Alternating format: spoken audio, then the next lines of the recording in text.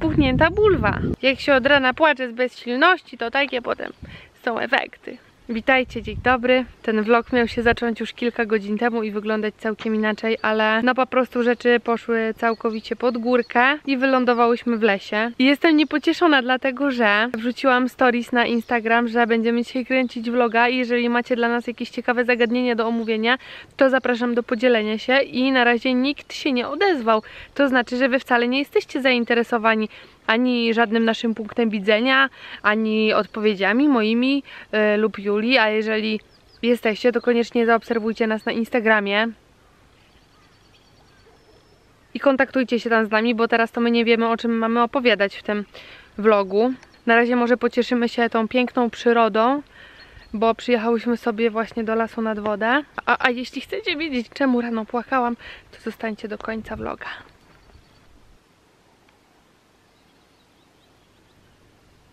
Normalnie można by jej nie zauważyć. I see you!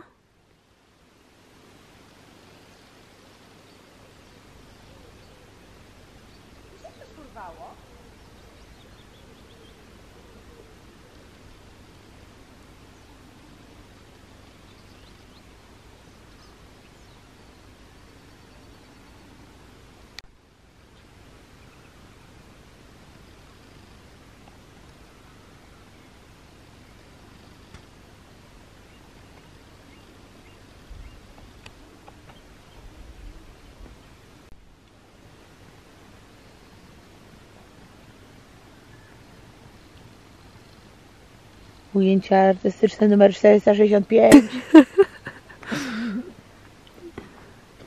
Pragnę nadmienić, iż nie tylko u Szusz na działce jest Bobbergate. Tutaj też. Tutaj jest taki bobergate, że powiem Ci, że jak tutaj już idę, to już któreś drzewo widzę, że zniknęło. Leśny outfit żabelki. Brudne, nieco niedoprane buty. To są moje lesiobiegi. Lesiobiegi Adasie. Lesiobiegi Adasie. On pochodzą z Witkaca. To jest noga, która jest w takim tatuażu tygrysach. A tu jest e, skarpetka w tygrysie, tygrysie paski. Moje ukochane ogrodniczki. To mam taką ekskluzywną torebkę z wyprzedaży z TK Maxa. Tu mam mój moherowy wełniany golf. Biżuteria mocy, ponieważ dzisiaj wszystko chce mnie wyprowadzić z równowagi. Biżuteria mocy, czyli moje perły z chryzoprazem, mój karneol. Mirkowi tutaj ukradłam taką ekskluzywną bomberkę, którą mu sama kupiłam. Czuję No się bardzo wygodnie. Jak wyglądam? Fatalnie. Tłów kilometrowy. Widać, że jesteś zmęczona, bo masz takie dż- dżebeskie oczy. Popłakałam dzisiaj tyle, że nawet w urzędzie płakałam. Wszędzie płakałam. Ale powiedziałam, że to tylko ci najwytrwalsi się dowiedzą. Spokojnie i cicho. Ładnie pachnie. Żebelki.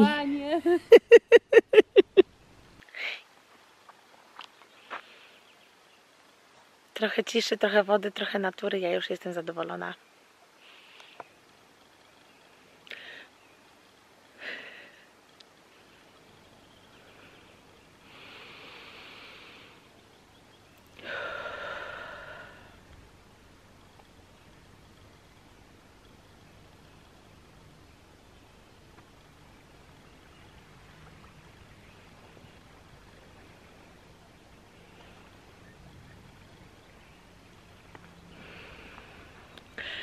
Mogę na to patrzeć godzinami.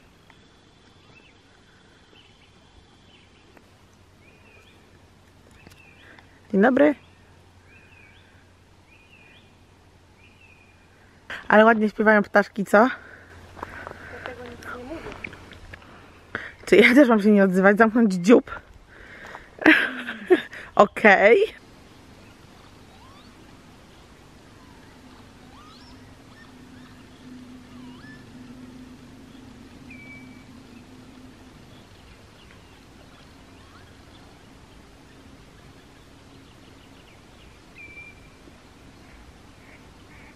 Ten ptaszek, którego przed chwilą nagrywałyśmy, ten dźwięk, który słyszeliście, słyszałyście,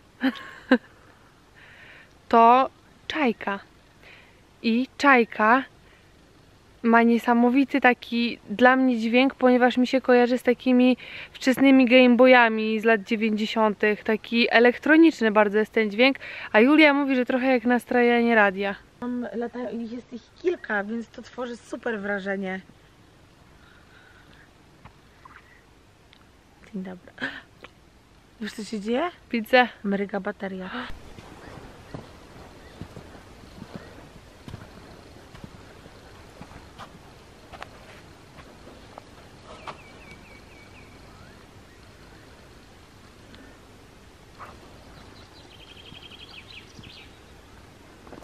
Kojarzycie ten widok? Kto kojarzy, proszę bardzo, raz, dwa, trzy. Proszę Was wpisywać w komentarzu.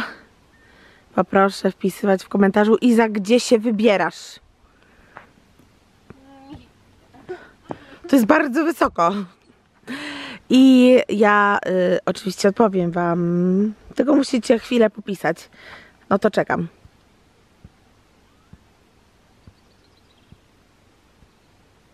No dobra. To jest miejsce, w którym kręciłyśmy kiedyś bardzo e, sławnego lookbooka. Link wiedzie Wam tutaj na górze. Zachęcam do oglądania. Nie wiem, czy słyszycie ten dziwny dźwięk.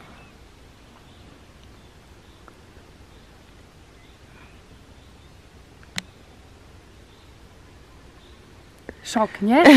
Ja w ogóle nie słyszałam wcześniej takiego dźwięku, ale mam taką apkę, która nazywa się BirdNet i ona nagrywa głosy ptaków, potem się zaznacza i analizuje i pokazuje, co to za ptaszek. No i to się okazało, że to beka skrzyk. I spójrzcie, jaki słodziak. Poczekaj, bo może usłyszą teraz.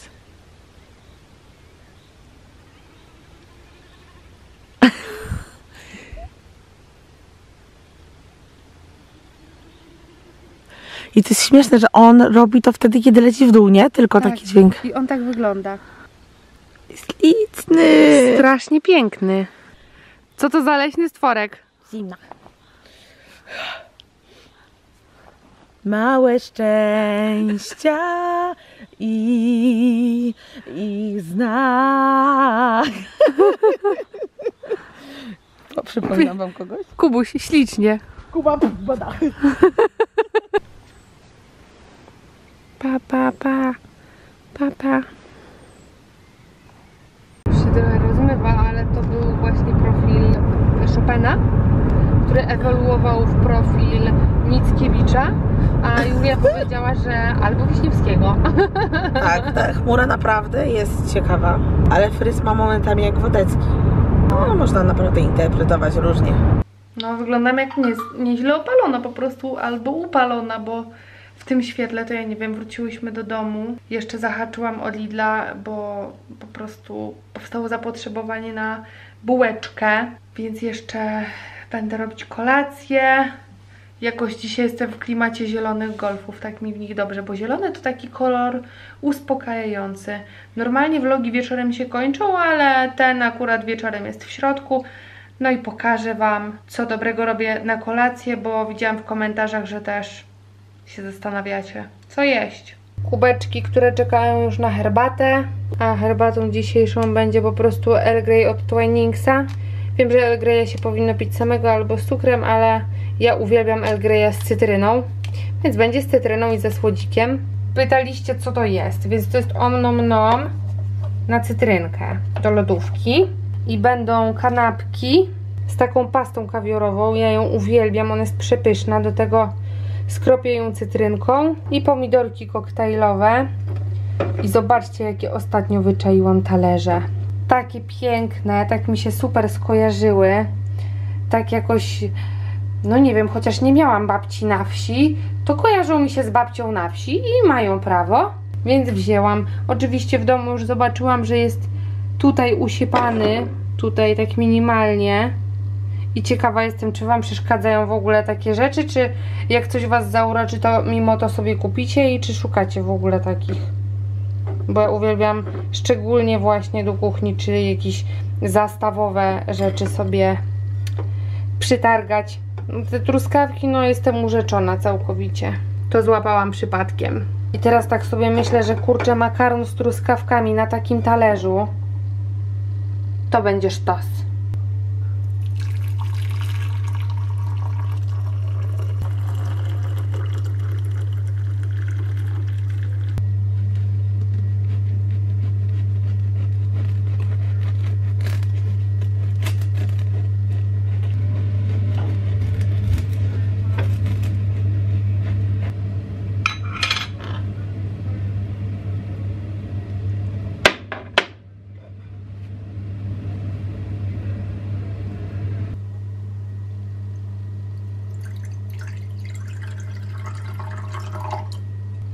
Proszę bardzo. Luksusowa kolacja.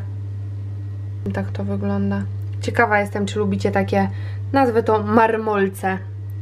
Bo Julia na przykład totalnie uwielbia wszelkie te pasty wyciskane z tubki z tuńczyka albo coś takiego, a ja akurat te kawiorowe lubię, ale nie te stópki, bo one dla mnie to jest po prostu sól na soli. Może nie wygląda jakoś nie wiadomo jak, ale jest pyszne. Luksusowy stolik przygotowany do kolacji. Ale masz zestaw. Piękny, prawda? Herbata, szampan. I pasta kawiorowa na bułce na maślance. Na vintage talerzyku. Podanie okiem. Sikającym na wszystko. Ej, nieprawda. Witajcie w kolejnym dniu tego samego vloga. Zostawiłam Lulę u pani doktor, w sensie na wizycie. I teraz wam mogę powiedzieć, że nie cierpię płakać z bezsilności. I mówiłam to w ogóle jakiś czas temu na Insta Stories, bo też miałam taką sytuację. W każdym razie wczorajszy poranek e, przepłakałam. Nie dlatego, że wydawało się coś strasznego, w sensie wiecie, jak się o czymś dowiadujecie, to jest straszna i tragedia, zanim się przyzwyczajicie do tej myśli i tak na trzeźwo spojrzycie na całą sytuację, ale ja się czułam mega bezsilna i no moje emocje tak sobie z tym radzą, że sobie po prostu płaczą. I ja sobie daję na to przyzwolenie, uważam, że to jest ok. Zresztą po takim wypłakaniu też jest zawsze jakoś łatwiej. A czego dotyczyła sprawa? Sprawa dotyczyła tego, że nagle z konta zniknęły mi pieniądze. I nie były to małe pieniądze. Ja nie robiłam żadnego przelewu, nikt mi nie skosił karty. Totalnie nie miałam pojęcia o co w ogóle chodzi, bo jeszcze jakby mi to skoszono ze zwrotu podatku, no to wiecie, można myśleć, że byłam niegrzeczna bardzo, zapomniałam o czymś i tak dalej. No ale to nie było ze zwrotu zakoszone. I zauważyłam to dopiero wieczorem, w sensie to się wydarzyło wieczorem, więc byłam przerażona, że będę musiała czekać do kolejnego dnia, żeby całą tę sytuację wyjaśnić. I nie miałam w historii przelewów, że, że z jakiegoś powodu nie było takiej osobnej, wiesz, miejsca, w sensie tam zakupy y, w Lidlu tyle i tyle, kawa w kawiarni tyle i tyle, a z jakiego tytułu zniknęły te pieniądze. One po prostu wyparowały. Ja byłam przerażona, już miałam tysiąc wizji po prostu, co się z nimi stało, ale udało mi się dodzwonić do mojego banku. Pani mi podała sygnaturę sprawy. O co chodzi? O co chodzi? Przetasowałam sobie w głowie po prostu wszystko, co się tylko dało. No i to było przez wczoraj, a wczoraj rano zaczęłam dzwonić. Odbijałam się totalnie od wszystkich, wszystkich miejsc od drzwi do drzwi, od telefonu do telefonu, ale w końcu udało mi się ustalić, że jest to egzekucja wystawiona przez miasto stołeczne Warszawa. Yy, okazało się, że telefon tam nie działa już od miesiąca, więc po prostu wpakowałam się w auto i taka zaryczana pojechałam do centrum e, tych egzekucji, to jest przy ulicy Obozowej. No i dowiedziałam się, z którego to było dnia i że to było na podstawie mandatu. I słuchajcie, ja w życiu do zeszłego roku żadnego mandatu nie otrzymałam. Dopiero na tyle lat, ile mam prawo jazdy, a jest to już ponad 10 lat, bo jestem naprawdę przykładnym kierowcą, mogę powiedzieć ale zostawiłam miejsce, no na niedługo, ale w nieodpowiednim miejscu i ktoś uprzejmy, słuchajcie, zrobił zdjęcie, nie tak, że Straż Miejska sobie przejeżdżała, czy, czy policja, ktoś uprzejmy zrobił zdjęcie i w ramach donosu sąsiedzkiego po prostu wysłał. I ja dostałam pismo, no i pojechałam od razu wyjaśnić tę sprawę właśnie do siedziby Głównej Straży Miejskiej. No i tam, tam zaproponowano mi mandat w określonej wysokości. Bez punktów karnych ja ten mandat przyjęłam i pani mi powiedziała, urzędniczka w Straży Miejskiej, że ja mogę sobie ten mandat spłacać w ratach dowolnie. No ja mówię, w ratach? Spoko. W ratach zawsze jest taki wydatek y, przyjemniej znieść, tym bardziej jeżeli jest taka możliwość. No i pytam się, kochana pani strażniczko, urzędniczko, powiedz mi proszę, czy ja muszę pisać jakieś podanie? A ta pani mi powiedziała, że nie, wystarczy, że numer tego mandatu będę wpisywała w przelew i tam część pierwsza, druga, trzecia. No ja sobie rozłożyłam go w takim razie sama na najodpowiedniejsze dla mnie raty. Zdążyłam już spłacić 40%, no bo to od grudnia sytuacja, więc tak naprawdę niedawno. I się okazało, że to właśnie z tego mandatu ta kwota tak narosła, bo właśnie to była mega dziwna kwota, całkowicie nierówna, i do niczego nie pasująca i prawie dwa razy tej wysokości, co tam ten mandat. No i w ogóle sytuacja bardzo stresowa. Myślę, że to rozumiecie. No i w końcu udało mi się dodzwonić w tym centrum egzekucji. Jak się dowiedziałam, mówię, że ja takie informacje otrzymałam. Tam ci Państwo mi mówią, że musiałam zostać oszukana. Ja oczywiście w ryk w tym centrum egzekucji i totalnie nie byłam w stanie nad sobą zapanować. Łzy mi leciały.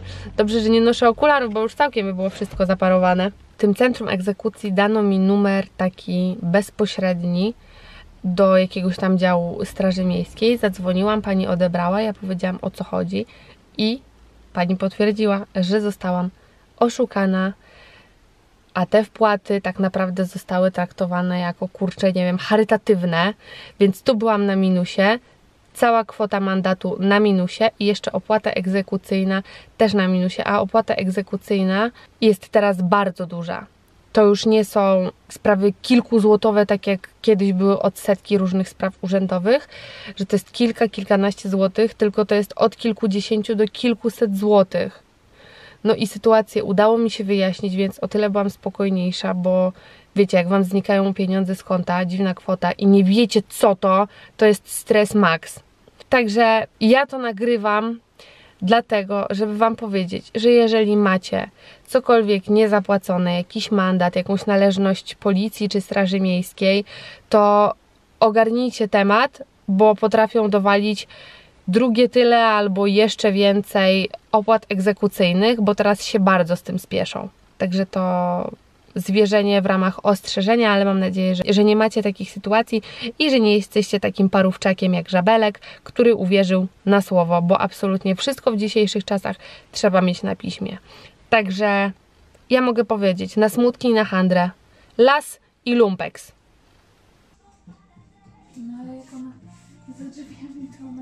Słuchajcie, z 2020 kolekcja to nie może być nic innego jak dresiwo.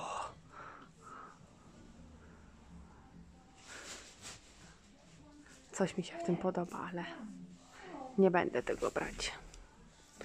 Za duże po prostu. Do kompletu można fajny komplet dresów sobie skompletować. Jeszcze jedno słowo kompletowe już będzie całkiem gryt. No i myślę, że takiej to jeszcze nie mam. Chyba nie mam takiej jeszcze. Hmm. Takie vintage'owe bluzy retro. Jest to wiele bardziej zielona tak na, naprawdę. Całkiem spoko bluza męska. Z taką kieszenią. Fajna.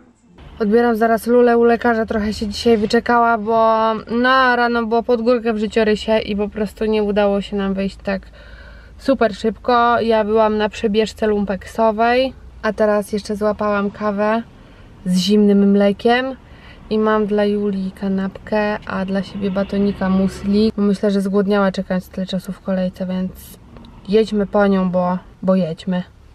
Nie wysuszyłam włosów na noc i czy ty totalnie widzisz jakby co się dzieje? Jaka jestem plaskawa? Wczoraj zjadłam białą bułkę. Widzisz, jaka jestem szeroka? Widzisz, jaka jestem spuchnięta? Po gębie widać, że ja też. Nie no, wygląda po prostu, wygląda jak taki, no nie, no nie. Przyjechałyśmy na wycieczkę do dalekiego Otwocka. Słyszałam, że tu szczepionki rozdają. To jest bardzo, wiem, bardzo drażliwy temat, nie udzielamy się, nie rozmawiamy w tym temacie. A bo ja wam nie mówiłam, że ja Julię też odprowadziłam, zajęłam jej kolejkę pod gabinetem, jak robiła badania i oczywiście, co zrobiłam? Narobiłam siary. O Jezus Maria.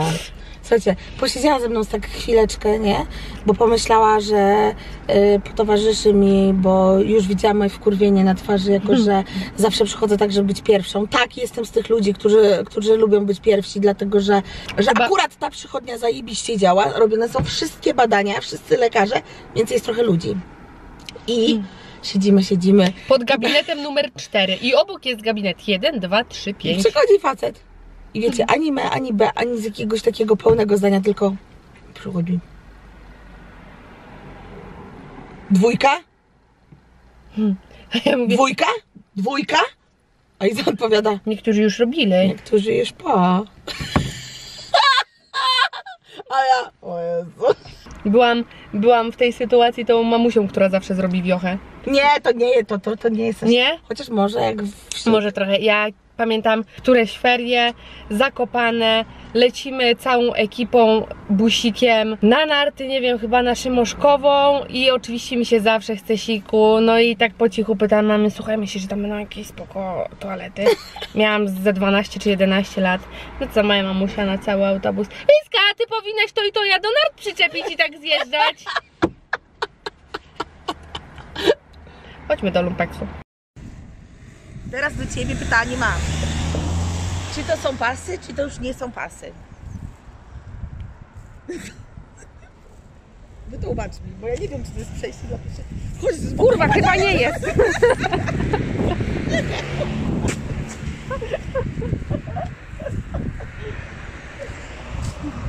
Domek! Bardzo lubię oglądać zabawki.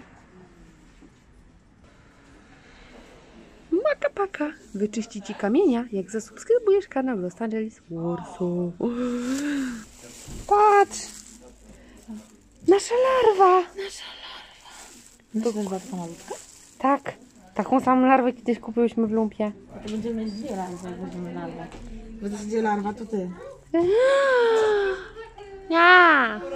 Dział dziecięcy jednak nas nie przestaje zaskakiwać. Może kwiatuszka komuś? Boże, czy to Trump?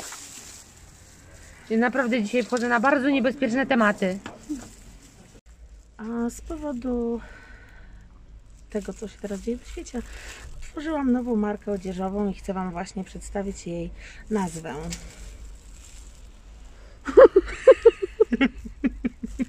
Covington. Zapraszam. Ja znalazłam taką dla siebie bluzę. Beach please. Trochę BNP, trochę Gucci.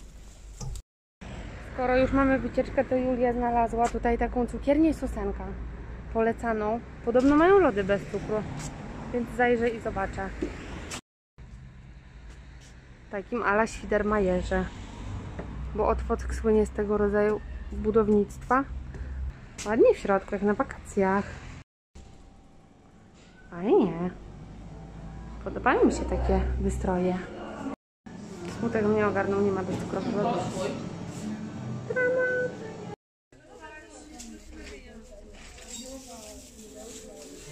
Gdzie znowu jesteś? Odejdźcie. A gdzie byłaś? Od kardiologa do szmateksu.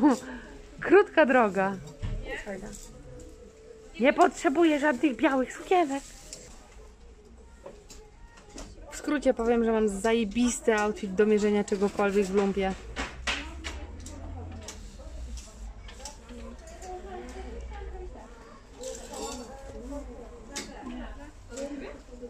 Papaju, pomocy. Pudełku byś nie chciała do czegoś? Do jakiejś maryten? Bo to super się wygląda w tych proszkowanych. Z wczorajszego outfitu zostawiłam te ogrodniczki, bo są super wygodne. Mam do tego moją Dolce Gabbana koszulkę z papajem. O, crazy. I taką czarną, cienką jeansową kurtkę. I złapałam golfik. Ale zobaczcie ile kolorów może tu będzie. Wymarzona moja marynara. Who knows? Czy wy to widzicie? Boże, spełnienie marzeń. To jest coś tak pięknego. Cudne, ale no niestety nie potrzebuję, więc, więc nie biorę jak nie potrzebuję. To ciężkie decyzje, ale polecam wszystkim. Nie chcesz sobie wziąć takiego? Kusicielko. To by było na tyle. Bardzo nam jest sympatycznie, że jesteście z nami. No dobrze. Dzięki za kolejnego wspólnego vloga. Jeżeli jeszcze nie subskrybujecie, to koniecznie zapraszam do nadrobienia i zasubskrybowania naszego kanału. Ja Wam życzę oczywiście miłego wieczoru.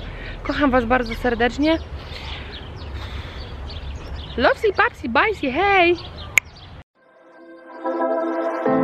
I know you feel like you want me, and I guess in a way you do.